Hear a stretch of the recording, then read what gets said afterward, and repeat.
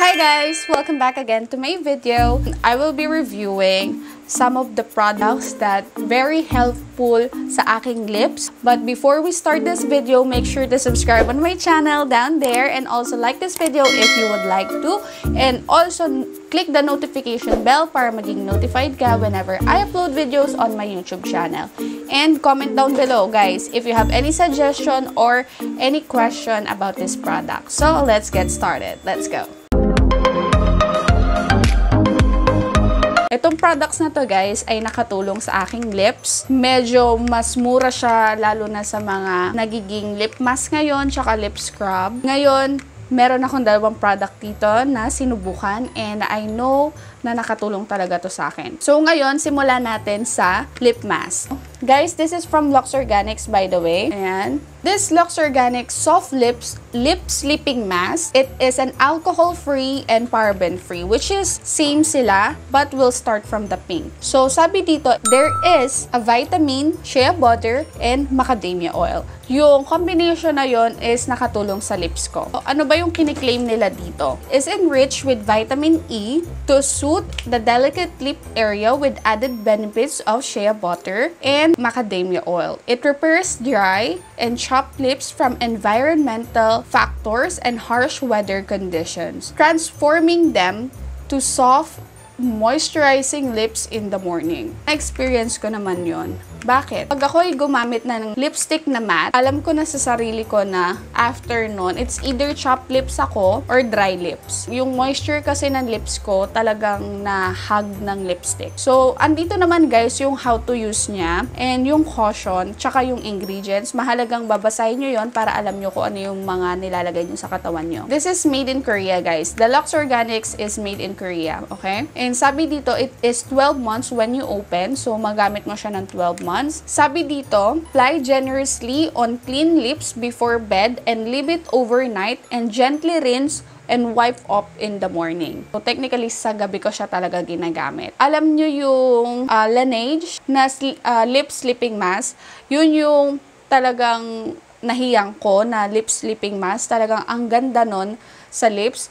So, sabi ko, tignan ko kung magiging dupe niya tong uh, Lux Organics na to. Na-convince niya ako na dupe siya ng Laneige. Hindi sila magkaparehas ng scent, pero yung nagagawa kasi nila sa lips ko is the same way. So, parehas silang uh, nakakamit yung gusto ng labi ko. Kumbaga, pagising ko kinabukasan, malambot na siya and na-recharge na yung lips ko sa pagiging chopped lips or dry lips. Ito yung mismong product niya. And sa likod guys, ang maganda dyan is andyan na rin yung ingredients pero maliliit lang din yung font niya.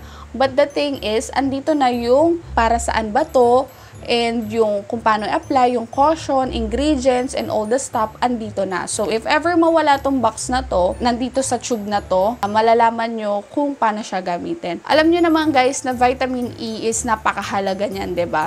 So, mas maganda kung meron din yung lips natin na nare-regenerate. And also, shea butter, meron din siya, and yun nga, macadamia oil, nakaka-help siya makapag-smoothen out ng lips natin. So, it is 15 grams, etong gantong tube na to, and papakita ko sa inyo guys, yung kanyang texture or yung kanyang itsura. Ayan. So, ngayon, ikalat natin para makita nyo. Ganyan siya ka-thick. And by the way guys, yung kanyang price, ito po siya. Ayan, sa ganyang amount ko siya nabili. And sa Watson ko siya nabili guys. It's night time na, so gagamitin ko siya para hindi naman masayang tong nasa back of my hands. Pero magtungo muna tayo doon sa lip scrub. Kasi kailangan muna natin guys mag lip scrub bago tayo mag lip sleeping mask, okay? Yung scent niya kasi, magkaibang magkaiba doon sa Laneige sleeping mask na ginagamit ko. Hindi sila parehas ng amoy, pero parehas sila na nabibigay sa labi ko. Kaya feeling ko dupe siya ng Laneige. Pero hindi siya parehas ng scent, okay? So disclaimer, hindi siya parehas ng scent pero mas mura kasi siya sa Laneige. Kasi yung Laneige nila na maliit na ganon, actually guys, yon medyo, um, medyo expensive na siya. But at the same time, ito siya guys, so ayan, yung Laneige. Pero at the same time, konti lang kasi yan, yung sa 100 plus Pero kung ito, bibilin mo, sulit na kasi 15 grams and madami siya, ba? Kung ipapadescribe niyo sa akin yung scent nito, actually guys, amoy antibiotic siya ng bata. I swear. No joke, kasi actually nung una, ayoko talaga ng amoy neto. I did try it kasi nga sabi ko, sige, susubukan ko na rin, total nabili ko na rin naman siya. Magtungo na tayo sa Lux Organic Soft Lips Exfoliating Lip Scrub. This is an alcohol-free and paraben-free as I told you guys and this is made with fine ground walnut and shell powder. Yung nag-grind or yung nag-exfoliate ng lips natin is nanggagaling sa ground walnut and shell powder.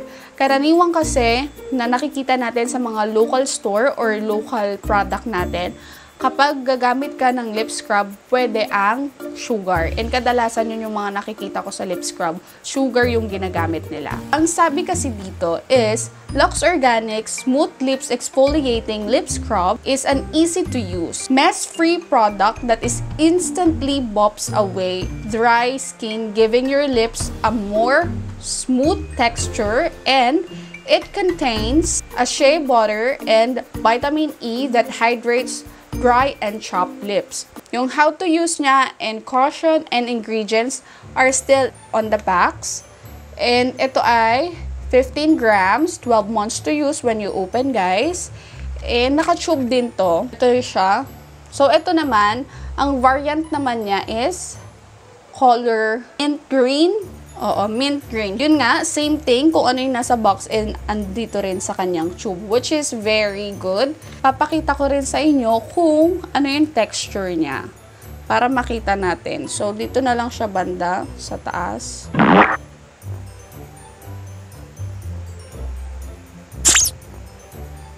So, ayan siya. And then, ganito yung texture niya.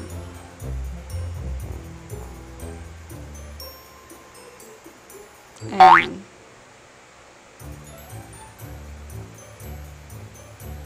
So, what I can see here, kitang-kita nyo dito yung ground walnut, tsaka yung shell powder.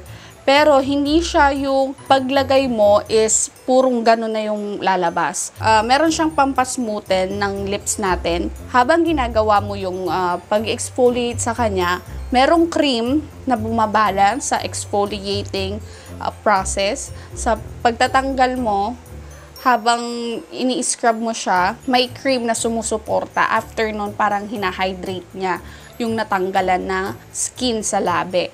So, ngayon, magtatanggal ako ng lip product ko para makita nyo kung paano ko siya gamitin. By the way, yung kanyang amount is, ayan, ganyan ko siya nabili. And uh, parehas ko kasi itong nabili sa Watson. I'll just drop the link on the description box below. And sa Watson ko siya nabili. I think meron na rin siya sa Shopee and Lazada. So, bali ngayon guys, ang gagawin natin is magli-lip exfoliate tayo. And yan, makikita nyo yan sa lips ko. Yan, ganyan. Medyo nakanganga akong ganyan habang naglalagay. Para yung banat effect niya sa lips, mas scrub din. So, kung makikita nyo, hindi nyo kita yung butil-butil na pinang-scrub ko, but definitely meron yan meron siyang mga maliliit na butil-butil. Kung, I don't know kung talagang kita niya. Pero I think I'll just zoom it out like that. Pero meron yan, as in sobrang konting-konti lang. Mararamdaman mo pag na ganun ka, tapos, iwa-wipe na natin siya.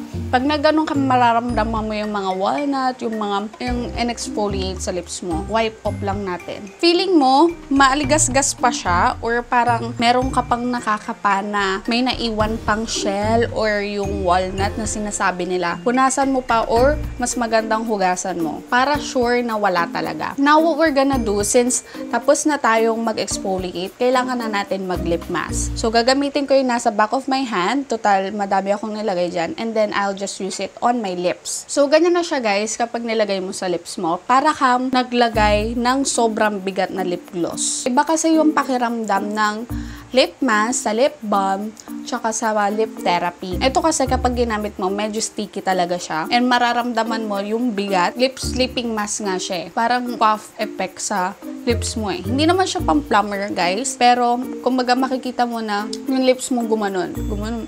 Parang medyo nag-pop siya. Mahil niya yung dry lips mo tsaka yung mga dead skin dyan. So, mapalitan siya at ma-recharge yung ating lips. Ganyan lang yung ginagawa ko in just easy two products na gagawa ko na kagad yung smooth and not chopped lips na parang El Nino. So, kung bet nyo rin masubukan to guys, I'll just drop the link sa description box below. And guys, ayan siya. Napakita ko na sa inyo kung paano ko siya both gamitin and kung paano siya nakatulong sa akin. I will just leave my lips like this until tomorrow and then I'll just gonna wipe the excess. Minsan pag nagigising ako, konti na lang natitira and then direct toothbrush na ako. So, natatanggal na siya sa water.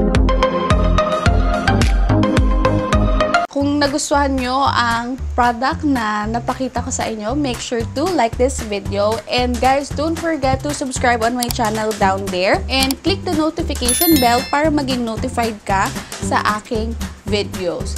Maraming maraming salamat sa pag-spend ng time sa aking video. And I hope to see you on my next video. Bye guys!